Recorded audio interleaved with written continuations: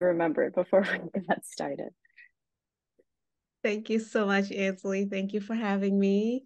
Um, I am so honored and excited to be here. You did not have to read all of that. I was trying to give you a whole thing, but um, so I before I start, I also want to introduce a colleague who's here to help me out with the Zoom and all of that. Shay, um, I know I saw you earlier. So if you want to also introduce yourself or just so people. I am right here. Hello, everyone. It's a pleasure to be here. Good morning. My name is Shay Mitchell. Um, as Tabitha said, the wonderful Dr. Tabitha said, I am assisting her today. Um, so I'm here, but I'm not really here, but I'm so excited to be here. So thank you so much. Thank you. Thanks, Shay. Okay, so we only have 90 minutes, and I say only, but that's probably a lot for all of you to take the time and pause everything to be here. So for everybody who feels comfortable to be on camera, this would it would be lovely to see everybody's faces. This being self-care, this being about collective care. Um, obviously everybody has reasons why why they are not on camera but if it's possible for you that would be really helpful that we see each other's faces that we pause everything and show up for ourselves which we don't get to do as much in our day-to-day lives. So anybody who feels comfortable and those who are already welcome and good to see your faces and those who are not able and that's okay too. All right so for today i want to kind of give you an overview of what we're thinking about I want this to be more in my brain. We're all sitting around a circle. We're in the same room and I'm seeing your names and faces. So I'm pretending like I'm with you all in one room, virtual or not. And so, if possible, to kind of really ground ourselves, it's going to be um, in a way that we are here to show up for ourselves we're not going to put on the brain of learning of what can i do with clients? What can i how can i take these skills to somebody else? This is for you and you alone. So you get to be selfish today. You get to pause being a mom being a sister being a caretaker. It's just for you. Okay. So and then with that in mind i want to know who's in the room. uh, maybe through the chat. That might be faster to just throw in name, maybe how you show up in this work. I'm not sure if everybody is in the same sector um, and what part of, I assume everybody's in New York, but maybe you're somewhere else, maybe somewhere more exciting. So where you're sitting right now and what your position or your role that you do. Um, and so that we can kind of get to know each other. And the interpreters, please feel free to tap me if I get too excited and start talking really fast so I can slow it down. So I'm going to try to stay mindful of the interpretation, but sometimes that um, happens. All right. Okay, so welcome. So I wanted to open it up by just sharing a little bit about myself and knowing that we are today most of you have connections with migrant workers and how do I show up in this work? Who am I outside of some of the things that Ashley has has read? But how I'm connected to this experience of the people you work with. Um, so I'm Dr. Tabitha Mpamira. Finally, that's done. That part of the the journey is over. Um, but I've been a mental health therapist for over coming to 15 years now. And I am originally from uh, Rwanda, but I grew up in Uganda as a refugee uh, since I was little, and I did not know I was a refugee. I thought that was home. Um, and during that time, some of you who might be familiar with the Rwandan genocide, that was why we ended up. The world knew about 94, but really it started in the 50s, and great grandparents would go back and forth Rwanda, Uganda, Tanzania. So any part of the world you're in, you might find a Rwandan somewhere. that is why we, we are everywhere. And so growing up there until 1994, when the bigger uh, part of the genocide happened, that's when we started hearing more about my parents talking about returning home, um, getting made fun of by students, telling us we're taking up their resources and in schools. And I was very confused because I thought this was home. I just thought Rwandans are another tribe in Uganda. And for the first time, I knew why I didn't feel like I belonged. And so, right at the end of the war, literally August, around November of 1994, my mom decides we're moving back. So now we move back to Rwanda right at the end of the genocide. Things are still upside down. And um, Rwanda was a French country. I'm coming from an English country. So we just, nobody ta- speaks the language we learned. So we're just thrown in a classroom, all this English speaking kids from first grade to 10th grade, it didn't even matter. Um, and then I also speak Luganda. they were speaking Kinyarwanda. So now I thought, we're finally home. And now I'm with my people and they are calling me Ugandan. And I have an accent. And so things did not settle fast enough. And in 1999, uh, we're able to come to the United States. And so I get to the US and now I'm Black, which was never an identity I thought as an identity because everybody around me was Black. It was just who you are. And but in the Black community, I'm African. In African community, I'm Rwandan. In the Rwandan community, I'm Ugandan. So there's always been that, okay, then where do I belong? Who am I? And so why do I say this? is to kind of bring us back to some people with lived experience doing work with those who are going through something they've gone through.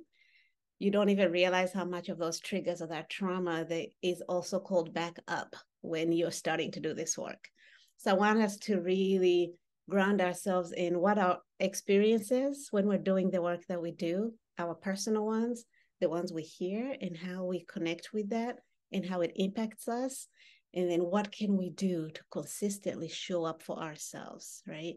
That um that analogy of the mask that you put on your own mask before somebody else? I want us to change that a little bit and say how do we get to a place that we don't even need a mask in the first place?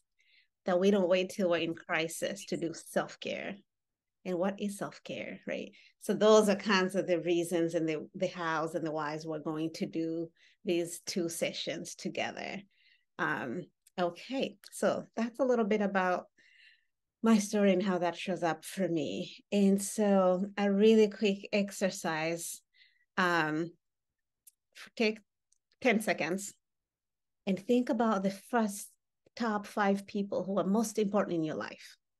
That if they called you right now and something happened, you would log off, you would run, you do whatever it takes to show up for them. It can be in it doesn't have to be all inclusive. Some of us have more than five people that we could do that for. Maybe you can say parents, siblings, whatever. Um, but just quickly, five people. All right.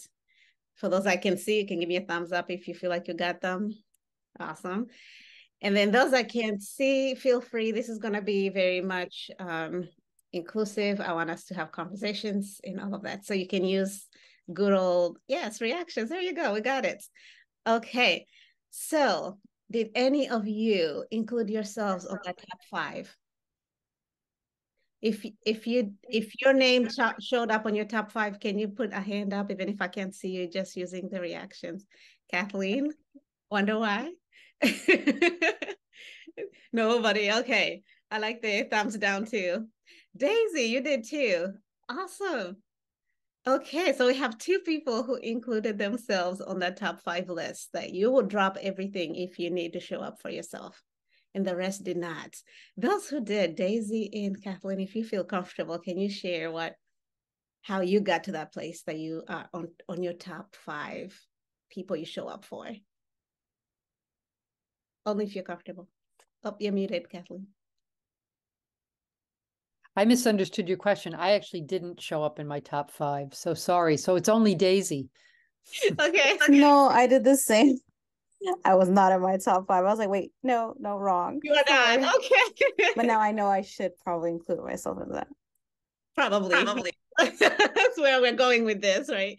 So this is the first uh, round of showing up for ourselves where we will be number one on that list because the rest of them cannot get the best of you if you are not on that list. You will have nothing to offer unless you are on that list, right? So we're starting there. How do we show up for us? And why are we not on that list? Right. So those are some of the questions we're going to be going through uh, with this. So this being a self-care, collective care, wellness um, workshop, organizing, gathering, however we want to call it, it's very important that we agree on how we want to show up in this space and that we make sure everybody um, is respected, taken care of, that we understand. So I'm going to take a couple seconds to go over agreements before we really dive in. And I have a few that I already put here, but obviously each one of us have different needs and different ways uh, that would make today, the next hour or so helpful. So the one is confidentiality. If anybody gets to share something, um, to that it stays in this room, something personal. And you can always share about your own experience in the room, but not somebody's story without their permission. The sharing time takes space, makes space. Um, some of us are talkers, some of us uh, we tend to sit back and watch. So for wherever you are on that spectrum, to try to kind of push yourself to say more or less, depending on what comes easier for you, using I statements that we we cannot um, express other people's opinions. It, whatever I am saying in the room is about me by me. Respect. That respect can look very different culturally, it can look differently individually. So, what does that look like for you? Um, and space for complexity. that sometimes my experience does not uh, align with yours, how we see the world. And the other piece around that is, especially um, when trauma is involved in some of the things you all hear and the experiences either been through or support others through, there is complexity, there are triggers, right? So there is something that I think I'm saying. There's always three conversations going on.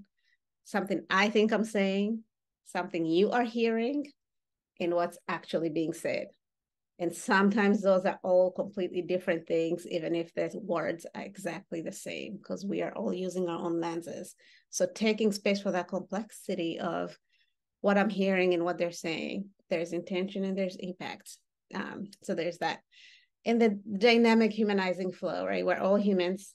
So some we're going to come in with different intentions. Maybe some people are here thinking, I'm going to get some skills and I'm going to be the best self care guru after this. And some people are like oh i just want to show up and see what happens. And some people have a rigid um, idea of what this should be it shouldn't be. And we're going to do a dance of what's in the room what's needed. So kind of making that flexibility that we allow for what's in the room to happen.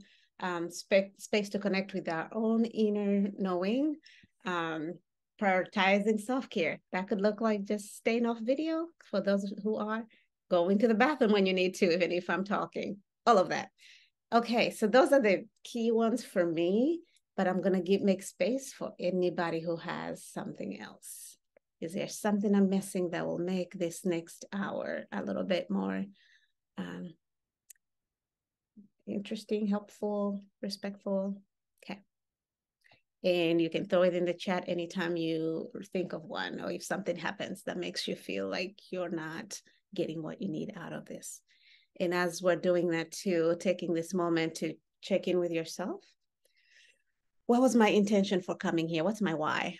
Right? Somebody made me. Um, I need to feel out something. Oh, I really am curious about self care. I want to learn something. What's my intention? What's my why? Because when we know why we're here, we're more likely to engage in that way. All right. And that's for your own grounding okay, so now I'm through all the um all the logistics and all of that. Um, so we're going to jump in quickly. I understand everybody comes, some people I see are coming in from legal services, others. So I want to make sure we're all understanding when I'm using some of this language. Um, what am I saying? What does that mean?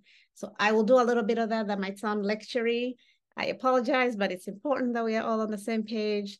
But also, then we'll be sprinkling in a little bit of um, the tools. Okay, so Ansley, do you mind making Shay co-host so she can make our groups? Thank you. All right. So real quick, um, and one of the reasons I was sharing kind of how I come to this work in my background, I want you all to not think about a pink elephant in this moment.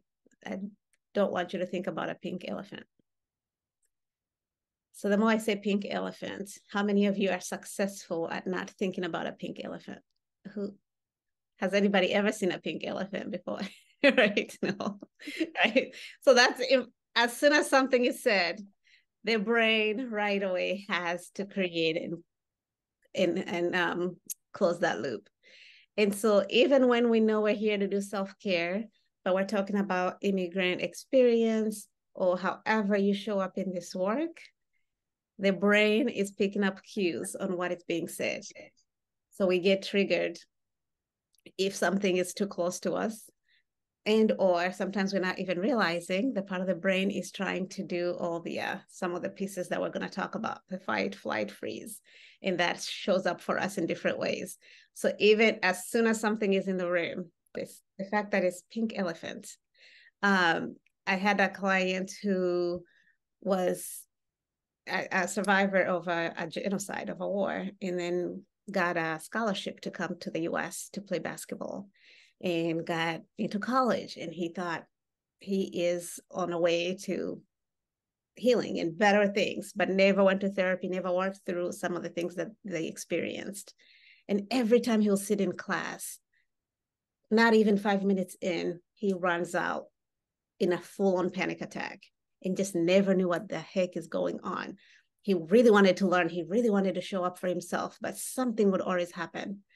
And eventually somebody told him have you thought about seeing a therapist? And he did. As finally, when he did, they started realizing what are your triggers, right? Some some triggers we think of regular things that are um, clearly disturbing or activating, but it turned out for this young man.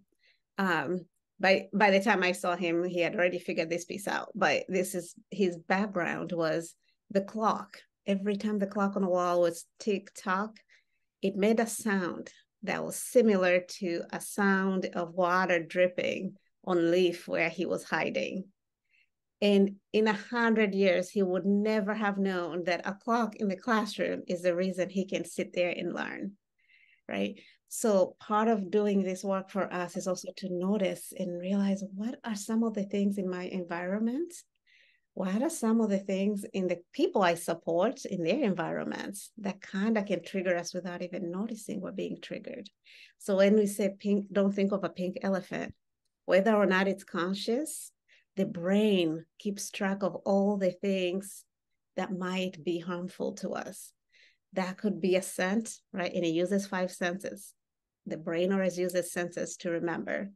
Um, so because we internalize trauma through our senses. We also get triggered through our senses. And we can also ground and heal ourselves through our senses. So the way in is the way out.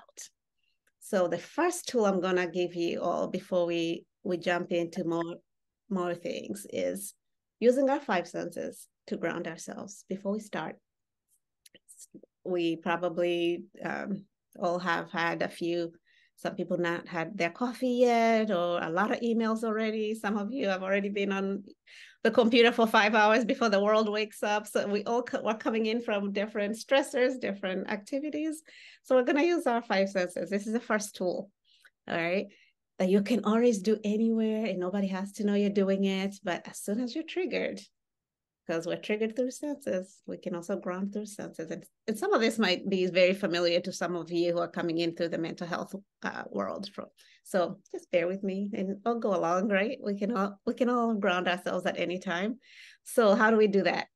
We start by, we all know we have five senses. So we're going to start by something you can see. So I want you to take a little time and identify five things you can see in front of you. And really see it. That could be my computer, like seeing color and texture and the pen. Up. All right, everybody found five things they can see. Good. All right, looks like Daisy's still looking around. We'll give you some time. Good. and now, four things you can touch. And I want you to actually touch it. Um, this is warm, my coffee. Different textures, temperature, actually touch them. Yeah, good. Then three things you can hear. Maybe my voice. I have a heater going. I live in Michigan, y'all. It's already cold. Um, three things. Okay. Now, two things you can smell. And that can be something you make yourself smell. Um, I always keep a little lotion nearby. Or maybe a cup of coffee or tea. Yeah, there you go. And last but not least, one thing we're not always eating. So instead of taste, we're going to say feel. What are you feeling after that exercise? And if you feel comfortable, throw it in the chat. What what is what feeling came up for you after noticing and being present? Calm. Distracted, yeah. Cold. I'm always cold, Miguel. Me too. See, present. It brings you back in this present moment. Whatever the feeling is, it's not to judge it, not to change it. It's like where am I? What's going on? But the other key about this, neutral. The key to this too is the brain cannot do two conflicting things. So when we're making our to-do list, when we're having an anxious moment, when we're thinking about what we didn't do, what we need to do, and take the time to do that, hear, feel, think, it literally will stop that loop. It'll pick it up again, right? Because that's what it does but it will stop and interrupt and bring you back in the present moment. And the nervous system will switch instantly just by doing that. So when you find yourself in this room kind of doing that, the brain goes away or it thinks of this, or you open that, you can do that and come right back in the room. Yeah. So that's an, one way we can interrupt and disrupt in any moment. Um, you're having a fight with a partner, kids, whatever it is, taking that moment will reset. That's your free reset. Another free reset is breath. Breath reminds the brain that I am okay. I am here, right? Taking that deep breath. All right. Okay, so anybody has anything to add, say, contribute? Okay. Anytime you do, please just unmute and go on. All right, so now we're going to do another quick exercise, but this time we're going to break out into rooms. Um, and this piece is what we'll talk more about it after you return, but I'll just give you the directions now. So you Shay's going to break you up into two rooms of two people. You're going to have a partner. Once you get in the room, I want you to, one of you is going to be person A, You'll agree on who's person A, one of you will be person B. And so person A is gonna go first. So if you already think that's me, um, or both of you can listen to this and then decide in the room. You're gonna think about what was one of the happiest moments in your life. The thing you can think of, and without even trying, you start smiling. Maybe it's like the moment you had your child or your first kiss or marriage or your job or whatever that is for you. I want you to think of the happiest moment in your life that you've ever experienced or the funniest joke you've ever heard. Um, and bring that to mind. That's person A. And once you bring it to mind, I want you to smile and laugh as if it's happening in that moment. I want you to really embody that moment as you think of it. And then person B, I want you to have the most neutral face you've ever had in your whole life. Like you do not smile, you do not respond. Person A can choose or not to or not to share why they're smiling. It can be total silence. All they have to do is smile and laugh, whatever that happy emotion comes up for them. And person B, you do nothing. All right. Does that sound clear? Okay. I think, is it fully closed now? Everybody's back? I don't want to miss anyone. Everyone is. All right. Anybody wanting to share a little bit of how their experience was? How many of you are able to keep a straight face while the other person either shared about what brings them joy or what makes them smile? How many people are able to keep a straight face? Those okay we got wendy and karen and that nobody else was able to. okay. How was that experience? If if anybody's open to unmute and share.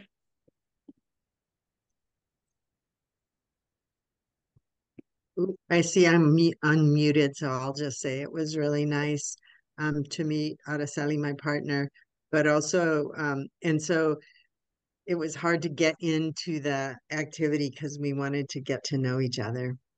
Were you able to get to it, to the activity, or at least one of you? Kind of, sort of, yes. All right.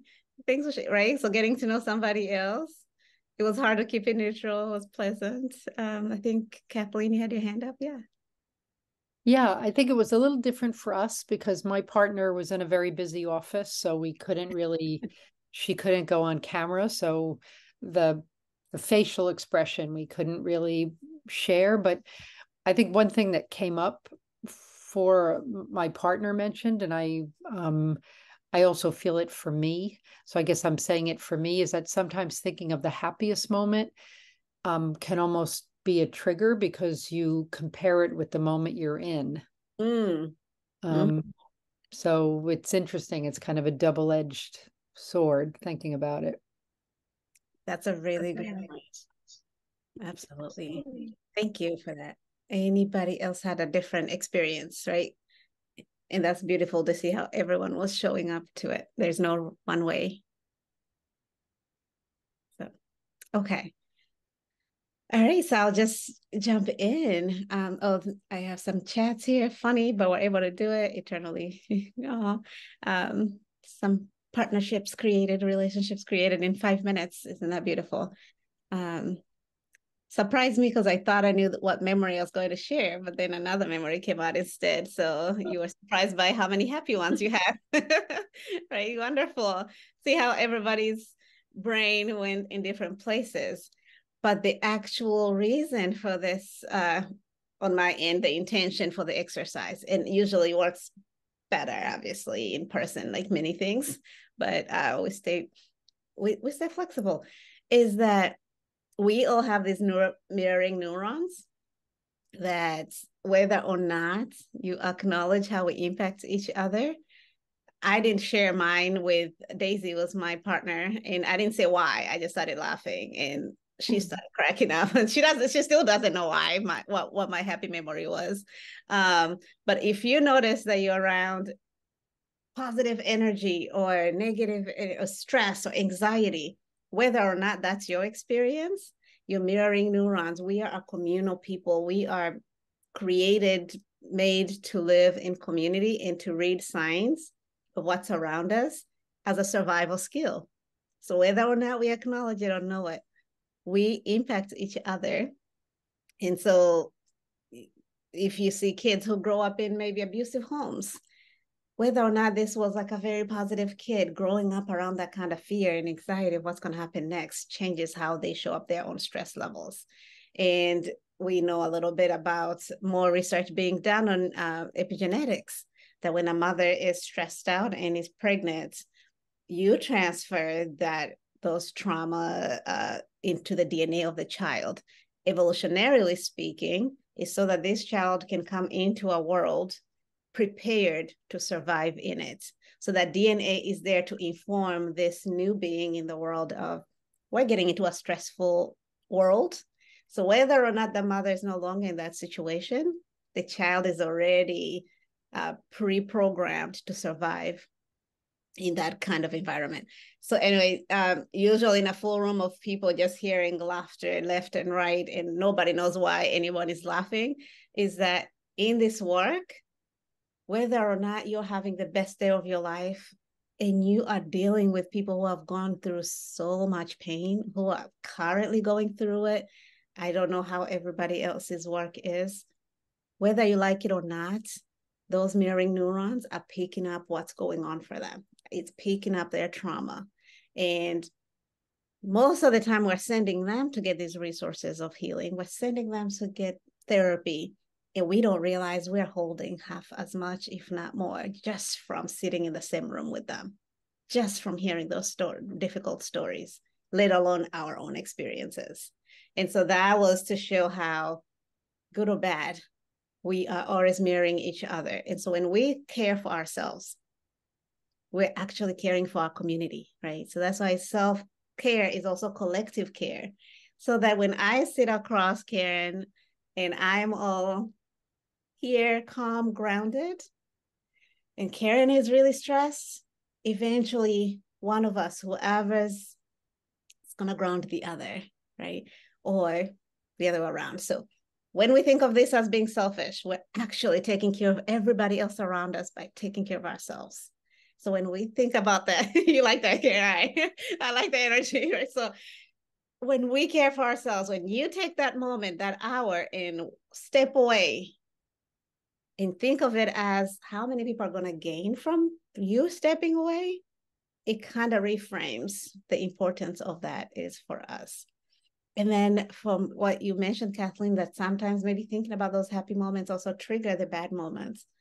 And how are we reframing what that means, right? Also makes a difference. Is that they both happen. If you're alive long enough, we will never only experience one thing. So kind of another reminder of each one ends. They the good ends, the bad also ends. And they all coexist. But when we're in this moment, in this present moment, we kind of also have agency to decide and pick and choose. So speaking of agency, we're gonna do another I'll do a, another tool, but before I go into it, I feel like I've been kind of throwing in all this, some of the terminology. I've been careful not to, but it shows up. So I want to take a quick moment and do a little bit of a lecture thing, which is something I don't enjoy too much um, during these kinds of workshops, but it's also important because I don't, we don't want to take for granted that everybody understands what it is when I say trauma and triggers and um, activated nervous system and the brain, all that fun stuff that we're not taking it for granted. So we're gonna do a quick, it feels like class, but maybe I'm projecting. Um, so I will start with quick terminology of when I'm saying these things, what do I mean? And this will set us up for next session of what are um I'm not sharing, am I? Nope. Like when I say some of these things, for, for those of you that this is too familiar, just um, excuse me, um, hanging there with us, maybe throw in some things in the chat that how this might mean different, uh, you come at it from a different angle, whatever comes up for you. If I'm, if this is too familiar for you that it feels boring, but I will make it really quick. It's just really important that everybody uh, knows that we're what, what are we talking about? Right. So trauma, that's any experience with lasting adverse effects on a person's physical, mental, emotional, social, and spiritual well-being. The word trauma itself is actually from the uh, wound, the word wound um, in Greek. And so that's an emotional wound. And now it's become, everybody uses this word with when they're uncomfortable, any discomfort or any stressor, anything that doesn't make me feel good, more people, more and more people are saying, "Oh, I've been traumatized by how my mom took away my phone." Like, no, that is not trauma, right? So I think we hear a lot, a, a lot of people misusing this, but this is really an emotional wound, and from a DSM point of view, it's an experience where you witness or you experience uh, close to death, injury, and where it feels like your life could have ended or somebody else's I care about. So it is much bigger, right? So there's stress, all things are on a spectrum, but when we say the word trauma, that is actually a little bit more. Um, and then PTSD, obviously, that's the diagnosis, post traumatic stress disorder. That's the diagnosis that if specific symptoms are met, we give that. And then you got secondary traumatic stress those are the emotional duress when exposed to another person's trauma. So some of you probably um, experience this a lot while you're going through um, working with immigrants or refugees or any kind of group that has uh, experienced oppression, wars, all events that are traumatic. Um, And a few people refer to it as compassion fatigue, where you're constantly hearing difficult stories showing up for people. Um, so when I say vicarious trauma, that is more of for a lot of helping professionals uh, with survivor with trauma survivors. That is where we are also starting to inherit. Well, inherit is, or we're up, we're internalizing what um, the traumatic events we're hearing, and we start seeing people showing exactly similar symptoms to the person even though they have never experienced anything like that for themselves. Um, and so you start changing your beliefs and feelings and loss of meaning, hope, all things that happen for the actual survivors. And these two, um, some people use them interchangeably, but there is a little bit of a difference. The vicarious trauma, you almost similarly um, show the same symptoms as the survivor themselves. And then moral injury. This is a little newer in the uh, literature department, but that is a damage done to one's conscious or moral compass when something goes wrong. Either they perpetrate or witness something that they didn't do anything about, um, or they feel like they failed to prevent something, um, or their own moral beliefs, values, ethical codes. So sometimes if we're supporting survivors in really difficult situations and something terrible happens to them. So like in my world, if a client were to um, die by suicide and I was the therapist, that could create moral injury. Like, what did I miss? How could I have prevented it? Even though law up here, we know that most of the time, none of us can prevent some of these things, but because you're in it and you have connection to this person, that's what we mean by moral injury. Um, and this shows up a lot, but we didn't have language for it for a long time where then people start blaming themselves in a really um, intense way. In that some of the reactions, um, and as I'm going through these, maybe check in for yourself. Uh, any of this shows up for you in your work. Compassion fatigue, just being exhausted, can't do more. Um, but then again, you say, of course, I'll do overtime because work continues. People need your help. Um, there's the guilt of I should have done more, and there's always more to be done. There's in in the US now in the, in this space like uh, Daisy was just sharing almost every other day a new group comes in and new people need help. Um, so that guilt does not go away. And then when you put boundaries on you're not able to. There's a shame right? And shame and guilt the difference is guilt is I did something bad and shame is I am bad so there's that like I feel bad that I didn't do more. And that's a feeling, it's outside of me. When it graduates into shame, then it's like I'm a bad person for not doing more. And most of the time, that's where people really that's stickier to tease apart when you think it, it's something to do with who you are versus something you can do or change. Um, so there's there's that those are some of the common reactions around moral injury, but also um, some of the second secondary trauma, right? So, looking at this, when we our own experiences and the people we serve, when we're in a room together, even right now in this room together, it's like a trauma soup. We all in our brains and minds and bodies, we all have a million things going on at the same time. There is their trauma, the person I am supporting. There's our trauma, my own, what I've gone through, some of my triggers are showing up. Vicarious trauma that I'm holding from many, many people I've survived, uh, that I've supported, moral injuries, compassion fatigue, guilt and shame, drowning in this, right? Um, that all of it could be present for us at the same exact time. So, what does that mean? Or before we get, jump into what does that mean, I know I went through that really fast. And for some people, it might be the first time. For others, it might be like, yeah, yeah, yeah, let's move on. Any questions, comments, where you've seen this show up in your own work? Um, I just and I'm a therapist, I'm very comfortable with silence. So I will give it a few three minutes. Some people need time to gather their thoughts, and others are like, oh no, it's too quiet. So I am gonna give a couple minutes to see if anybody either comments, questions, there on any experience they want to share, somebody they've seen, whatever's coming up for you. And yeah, before we move forward.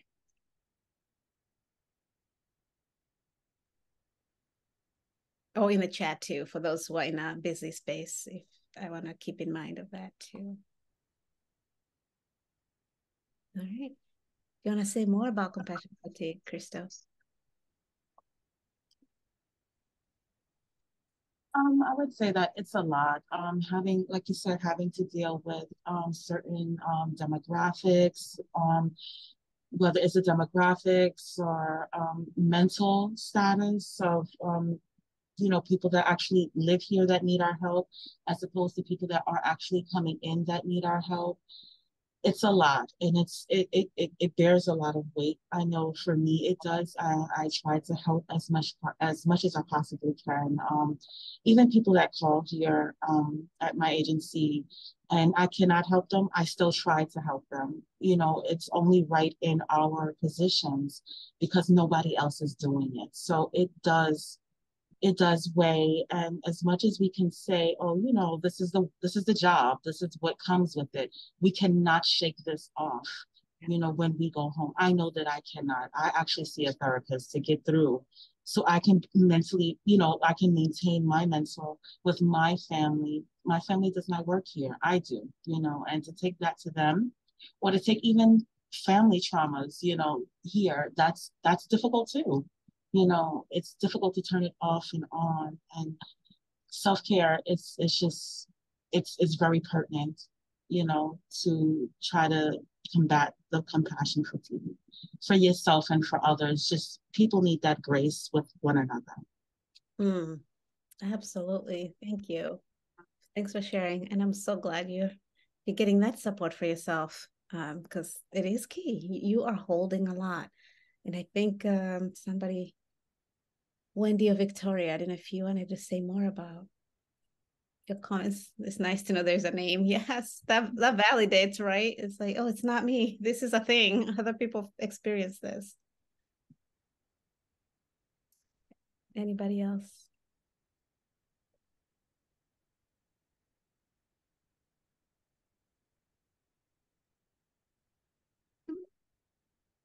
I, I wouldn't say like it's it's directly about trauma, but um, I I do feel like there's like a correlation when it comes to like difficult circumstances. Like for instance, I worked through the pandemic. I, I was on the front lines, and so I what I found is I, I think that period of isolation, like setting and, and what's going on in the world, also can be super triggering. And I found that when people would be coming in, it was like and and you can't be mad. It's some it's like you want to be frustrated but then people are unloading their frustrations like onto you. So it was just like we're we're the frontline workers and we're here and we're all collectively stressed about this major event that's happening in the world. But then i don't know it's, you you have a lot of people just kind of putting everything on you. And i guess that kind of triggers things in in yourself as as well you know that that that kind of was my experience um, during the pandemic. But then i think um, um, as the speaker before was talking about like finding those tools to help yourself to navigate these difficult um, triggers or difficult circumstances i found out during that time that i can actually write poetry. And i had no idea prior to the pandemic that i could do that. And then i'm like oh, okay keep on speaking girl. I'm going to speak easies. I'm doing all these things. And i'm like oh you're actually pretty good and that was kind of like my little outlet my medium. So it's just it's interesting where we find our happy places even from very difficult circumstances you know mm-hmm. thanks for sharing. Yes find staying creative in how to care for ourselves. There's no one way and oh thank you for sharing that. Absolutely. Yes karen. And yeah you can use the hand as well. Thank you for that reminder. Go ahead. Yeah so well, I'm so happy that this is taking place because we've been seeing the compassion fatigue moved into resentment, which mm means that we are now uh, like we're here to help, but we're not because we're resenting the fact that you're here because we're we're burnt out and overwhelmed. And it's just like this whole like, like I wish. And that's why I'm so glad that this is here. So maybe we can unpack some of it, a little bit of it. And, you know, it is for me, but I'm still thinking about how I can, you know, suggest for everybody else. We all know that we're hurt, but it's a matter of that we think we're handling that hurt. Like we actually thought we were putting the mask on and breathing, but clearly we aren't. so. Oh, that is a really good point. And it brings back that idea of community, right? Of it takes everyone, it has to be in this within the systems, that idea of self-care, that it's not a workshop, oh, it's not this spa day. It's built into the systems that people do not get to the point of needing a mask or the resenting part of the work. Um, that eventually, right, in their systems in place and power dynamics and depending on who's coming where, you have from inequalities and racial and social class and who gets hard, who gets the resources, right? That story or analogy of black ants and red ants in a jar, when you put them in there and leave them alone, they actually all get along and they're just fine. And if you shake the jar, they start fighting. So they they word was that they, they can't get along. But really it's because the pressure of shaking this jar, we all attack whoever's closest to us. And so you find that either the organizations, they're all trying to do the same thing, but now it feels like scarcity mentality. There's not enough resources. So then the lawyers are getting mad at the social workers, and the social workers are resenting the the whoever is closest to you, safe enough to, or we take it home, like Crystal was saying. Um, yes, I'm by using that story of the parent gets home and takes it out on the kid, and the kid takes it out on the pet, and the pet takes it, you know the dog takes it out on the cat. Everybody finds where their power is and safety, and we take it out on the partners. But really the question should be who's shaking the jar and where should our energy be that we all support each other to do this work well right? Um, so that's a really great great point of how do we also change the systems that they support the supporters. They heal the healers. Um, and both and and then how do we do that for ourselves because until that happens on a higher level we also have to do the daily things that it doesn't impact our social um, spaces. Okay. Anybody else before I move on? I don't want to. I love hearing other voices in the room and all kinds of um, experiences. And interrupt me at any time. It doesn't have to be when I pause. Okay. Okay, so some of those words and terminology we just went over, how does that actually look like in our bodies, in our day to day? What's happening? Um, I think some of you might be familiar with that book, and I'm looking over there because I don't. The body keeps the score, where that no whether or not we are engaging with the trauma we're experiencing or hearing, the body actually knows what we're going through. And that's when people have migraines that never go away and they don't know why. I don't know. I just always had this, or back pain, neck pain, or full on um, heart issues and it's all stress or accumulation of all this um, difficult work. So when we ignore the brain trying to tell us do something, do something, it's like I know what you're gonna listen to. Nobody's gonna ignore headache. Nobody's gonna ignore back pain when you can't sit or stand. Um, and, for me, if I've been traveling, not sleeping well, I don't know. Everybody has their own. So take a moment to to know what what is your indicator when, that check service light comes on in your body? Like, what are those pieces for you? For me, I get a cold right away. If I go three days without eight hours of sleep, I first piece is a cold, and I get a migraine. And at one time, I ignored it long enough during grad school. I actually got vertigo. I ended up in the ER.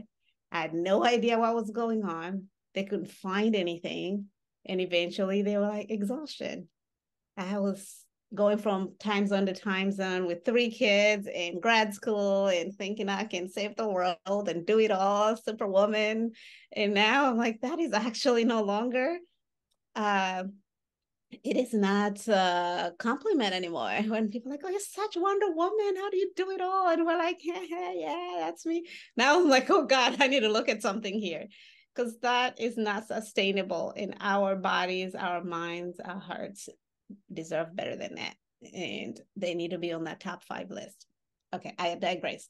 So back to how what is your stress response? We all have different ones. I was sharing mine so that you also get a moment to reflect or even write it down. So you remind yourself what is yours? What when is that when is your body telling you you're doing too much? Um right so when those triggers have happened right some of the ways we get impacted heart rate blood pressure changes digestion shuts down immune system shuts down logical thinking brain goes offline. I'm going to say more about this but these are the stress responses that help us survive in times of crisis but our brains, as incredible as they are, they're also primitive in a way that they're only really good. The brain is only concerned about two things first and foremost safety. Are you safe? But it only gets this information bottom up.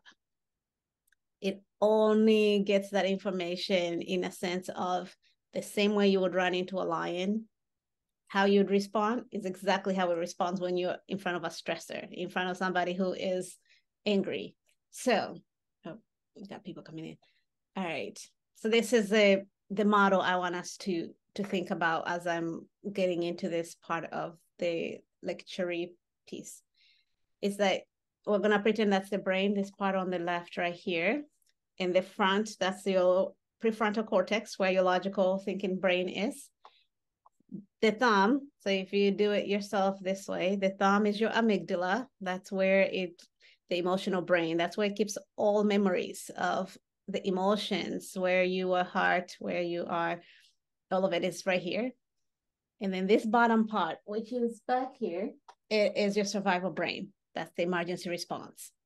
So think of if uh, somebody who broke your heart in kindergarten and their name was i don't know say johnny. And then all these years later you're an adult and your boss's name is johnny and you like i don't know why i don't like this person. They've not done anything. Or you smell something and you got sick from shrimp one time and now you're like never again and you smell it and right away that's your amygdala. It's like your um what is that thing called? The uh oh, smoke detector. I was having a little uh, freeze moment. Smoke detector, it's it will go off because it's detecting something there. That it's not necessarily saying there's a fire. It's just saying something to look into, right? That's your amygdala. And so when we've been traumatized, it's every time, let's say you left something on the stove a little too long, or you're frying something and you you're actually there, and the smoke detector goes off, because you know that it's not a fire, most of us will just walk over there, maybe blow on it or turn the things off, open a window, right? But when we've been really traumatized or triggered, every time it goes off, this is telling our brain that the house is on fire. And we grab everything we need and run, or we freeze, right? So every time your smoke detector going off, you're doing this. And that's exhausting. So when that happens, it flips the lid, as the Dr. Siegel calls it. And when it does that, you're no longer accessing your logical brain to say, oh no, it's just the smoke. I can open a window. You're no longer accessing this that can kind of go through what do I need to do, right? So think of the last time you had a really intense fight with anyone, and then you walk away after that, it's like, oh, I should have said this. Oh, I should have said that. Oh, this would have been a better comeback. Or I wish I didn't say that because you're actually not connected here anymore. So most of those really terrible decisions we make out of activation or anger is because we're not connected. So that little tool of five senses or taking a breath is your actual reminder or telling the brain, no, we're safe we don't have to run. There's no fire. Like calm back down. And then we can really think what do we need to do? So i don't know if that makes sense right? So anytime and i teach this to everyone. I've taught it to my kids and uh, sometimes i regret it. So teaching your kids what you think they should do versus what you actually do. So when i'm going off like oh my and I'm screaming. And they're like, Mom, we think your brain is like this. what, what do you need to bring it back here? And I'm like, oh gosh. Like, I'll show you a brain like this. No, I'm kidding. but they keep us humble. they remind us what we need to do, what we preach versus what we practice. So anytime we can come back in and like, okay, am I am I right here? You can take a breath when you are um, activated, a deep breath. So that tells the brain we're safe. Calm down. And We will do this, and then we can make uh, better decisions of what's coming up for us. And so when it's like this, this is automatic for us. And again, some of you know this very well, and I apologize that you're going through it again, but maybe think of it in that in a more personal way versus a more of the people you support. Um, when it, it's like this, you only have four options and you don't choose them. the brain chooses for you. And that's why when you see uh, survivors of sexual assault blaming themselves, like, why did I freeze? It's like you didn't choose that. The brain had to decide which one is going to be more likely to help you to survive. Its only job, first job, is to help you to survive. Job number two is efficiency. That's why we categorize things. That's where stereotypes come in. The brain is like, we're to compartmentalize. What do we need to know so we can get to this thing fast? All right. So it decides in a very quick moment can I fight this person? Yes or no? Can I flee successfully? Yes or no? Can I freeze? This obviously happens much faster than I'm talking. And then, if nothing else, the appease or fawn, if we want to stay with the F's. This is one that is not usually incorporated in a lot of uh, when we say fight, flight, freeze, fawn. But this is more common than we realize. This is when you start doing everything that the people pleasing part of trauma response is also if I do what they want at any time, I'm safe.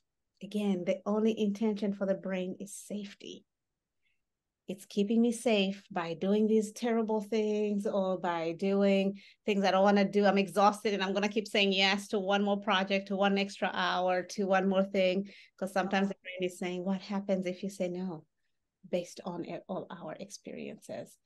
All right. So, like I said, most of us think and we try to solve from top down. We think we're being logical because we have all this knowledge and experience and wisdom. But the moment we're activated or something is happening for us, where our brain actually takes information from bottom up at all times. It starts off by Am I safe? What do I need to do to be safe? What what is the alarm telling me? And then by the time it makes it up here, this is what makes us different from other animals. This is what makes us special as humans, is because we have that prefrontal cortex that can do that work. So the same way we get information bottom up, it's the same way we have we can bring ourselves, calm ourselves down. It also has to start from bottom up, right?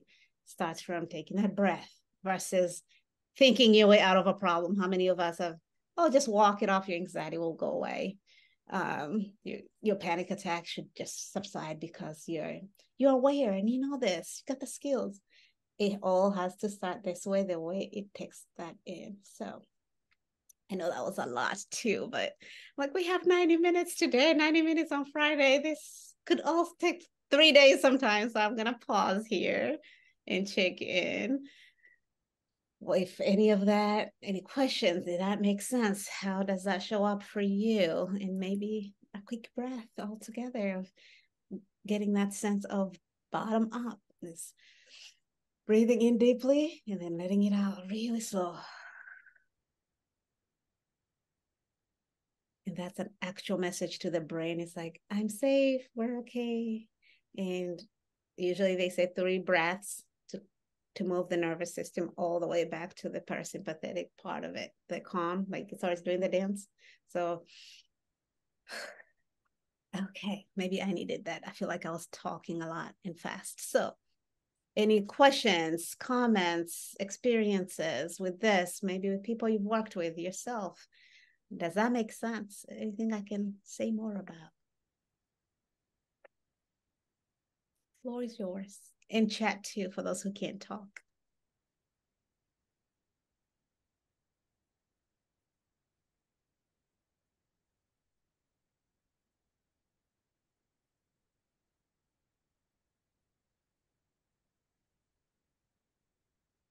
All right. So I guess I was really clear. That's great. Um, oh, I see a message. Other techniques to calm the brain. Well, I am glad you asked, Cindy. That's actually what's next. and then before we do that, actually, um, I also wanted to. Okay, do we have time? No, 15 more minutes. All right. I'm gonna I'll you you received an email this morning from Ansley and it has a wellness uh, plan piece. So I don't want to forget this. That's to be your homework. Going through that um, because you have so much time, right? You, you, you need more things to do on your to do list. So. but remember, you're on top. You're number one on that list. So this is for you. Um, that is a quick PDF of checking in for yourself when to know when am I doing well, when am I not? What are the cues? Body, how we talk, how we dress, all of that. So you don't have to type it in, you don't have to turn it in. It's just for your own. And then sometimes for those who want to, even sharing it with a partner, with a friend, with a sister, with a coworker, as a group of when you start seeing me show up in black, you can start asking questions, right? So I'm saying some things how we dress that day sometimes it's an indicator. Um, I'm saying that as my own example. I usually wear a lot of bright colors. So I'm like, when I see myself not caring anymore, I'm like, oh, something is up. So that will be your, your um, homework. So next week we will jump into more of coping resource, coping or resourcing and long term and all of that. Um, because Cindy asked more more skills or more tools. I, I wanted to frame that for next week or help you return. So we'll do a lot more then. This was kind of trying to do both and. And then I will teach you one more before we go. But before that, do a quick exercise. Um, I want you to take this moment, and everybody has something in front of them. What um Take a second and touch something with your hand. Touch something. All right. Everybody touch something? Just touch it. Good. Now pretend that that hand that you just used is not there. You don't have that anymore. And I want you to touch that same thing again. The same exact thing. I want you to touch it. Okay either unmute or in a chat. What did you use to touch it again? What did you do?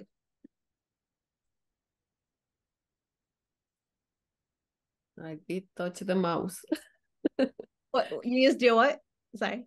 My hands to touch the mouse. Okay. And when when your hands went away, what did you use? My mouth. Oh, your mouth. All right, thank you. Ah, Ansley is the opposite hand. I guess I didn't say both are gone. so there you go. Um, who else? What else was used? Others just didn't do it. You you were like, no, can't touch it now. I just used the opposite hand. You use the opposite hand. The opposite hand. Yeah. Interesting. And I think I saw Cindy use his, her elbow. Yeah. Oh. Okay. Any other cool ways you touched the same thing, A different ways. You can share in the chat. All right. Um, so everybody came up with a different way mouth, elbow, other hand. Um, some people, one person, that was the only time I've heard that is like, I used my eyes. It's like, oh, okay, well, that's cool. Like I just saw it and feel like I'm touching it, but I was like, right? So, what is that for? Around resilience. When we're doing this work, a lot of things are thrown at us, things are taken away. We all experience COVID. I mean, we're here because of COVID. You know, most of us in a million years would never have been doing virtual stuff like this. Like, oh, I can't go, it's not happening. And when we're doing this work, we and I think Shay, you mentioned studying poetry, and you didn't know that was a thing. But when we think of resilience, most people have talked about resilience as this bouncing back, like the palm tree and the storm comes and it bends and then the storm goes away and it just boom right back on. But we know that the things and the people the things people have gone through that you experience on a daily basis you don't bounce back when you're in a new country. You don't bounce back when they throw you on a bus and drive you across the country and you don't speak the language and you don't have a house and that's you cannot bounce back right? But we get creative. We get um we find ways to do things that we could no longer do the same way we used to do them. And everybody has a different way of coming at that as you noticed in this room right? And not everybody shared how they did it but it's like okay now i'm going to use my elbow because i don't have hands versus well i guess that ends there. I can't exist anymore because i don't have the hands. And that is same for us. Sometimes resilience will look like I'm going to take a day off and eat a bucket of ice cream and watch Netflix all day, or curl up in my bed and actually cry for the first time in how many years, or it is I'm going to whatever it is is it can't come up for us until we actually go in of what do I need, right? what can I do differently since this is not working? So when you're saying on the wellness plan, something is not working, my body is telling me something is off. It's not failure that we don't bounce back and show up the, at 100% the next day, or I go to a spa and I'll, all of a sudden, um, it's what do I need and how can it be done? It might be differently than how I've always done it. It might be less than, right? Some days are going to be 50%. But when mm. we resist looking at what do I need and how do I need to do it, we end up kind of killing ourselves thinking we, we get in that spiral, right? That uh, moral injury, that shame of, oh, now I'm supporting less people than I used to. I'm mm, mm, exhausted, all whatever that is for you. So rem- reminding yourself that you have what it takes. I think it's a Nigerian proverb that says, the hand knows where the mouth is, even in the darkest time. And that's to say that you can always, we can all always find our mouth to feed ourselves, even when we don't have light. It means that we have within us, we know how to heal ourselves. We know what we need, but we just don't always tap into that. And so this is that call to action when you're doing your wellness is what do I need and how does it need to happen? That you don't, we don't bounce back that's a myth. We change, we evolve, right? It, some things grow, some things come to pass, and all of that. And so, wanting to end with that last skill, uh, tool, not skill, um, that you asked for. Well, it's here somewhere. So this is called tracking, and this will help us to to kind of remind ourselves to do that those kinds of questions on a daily basis.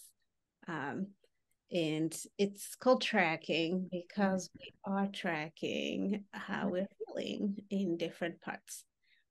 And this, I love this tool so much because it separates the different parts of us that we usually, oops, supposed to be sharing. Okay.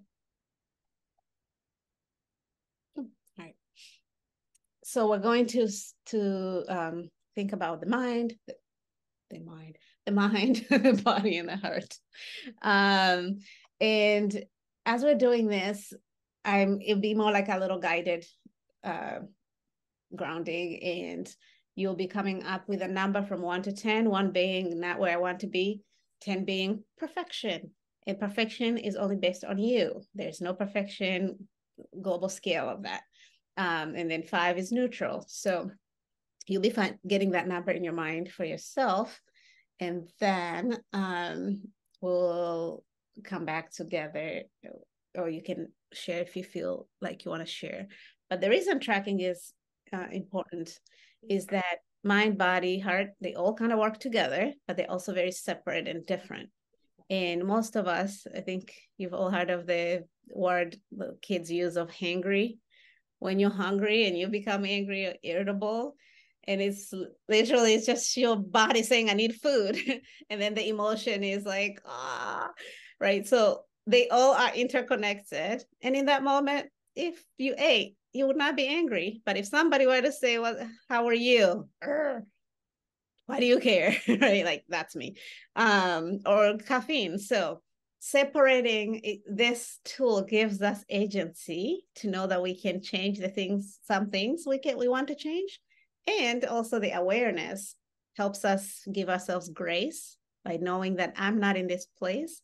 Then I have agency also to either remove myself, breathe. What do I need?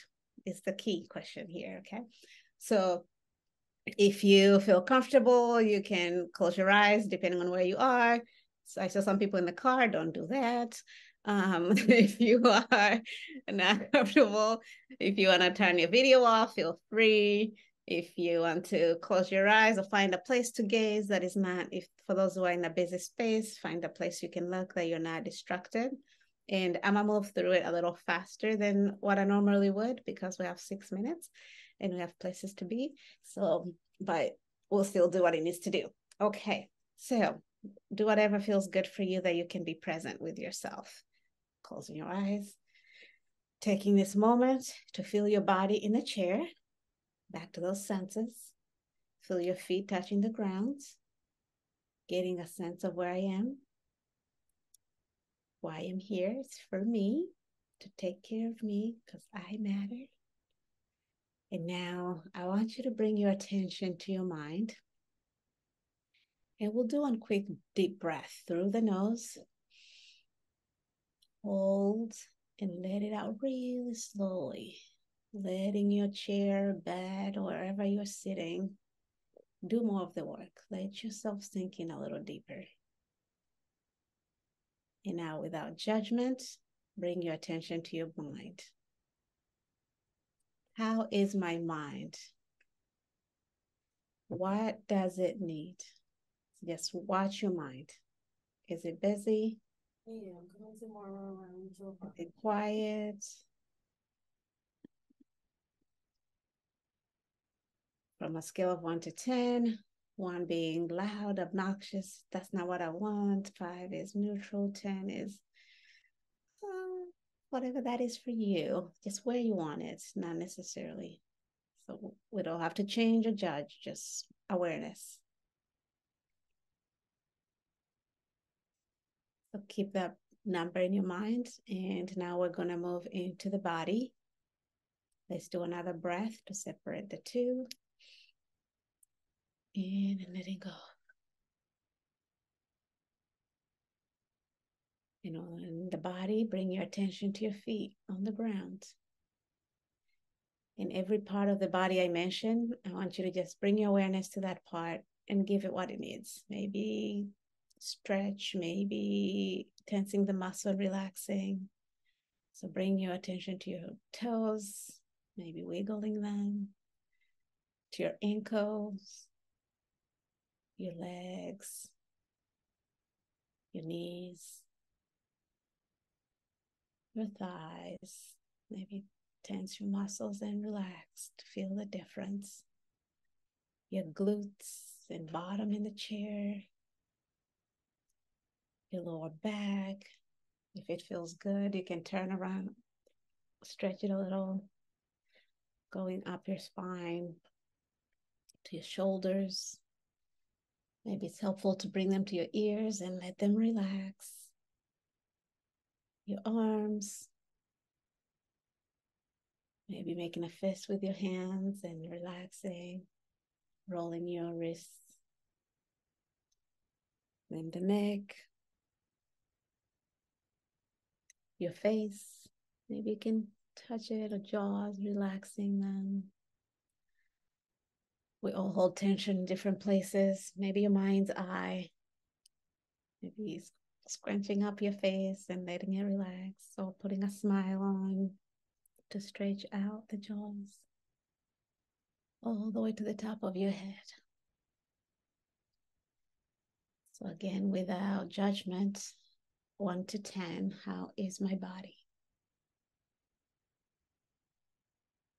And last but not least, it helps to put your hand there on your heart. You can take another breath. And let it go. How is my heart? That could be a feeling you're feeling right now. Heavy, lighter, neutral, one to 10. We'll take another breath and letting go.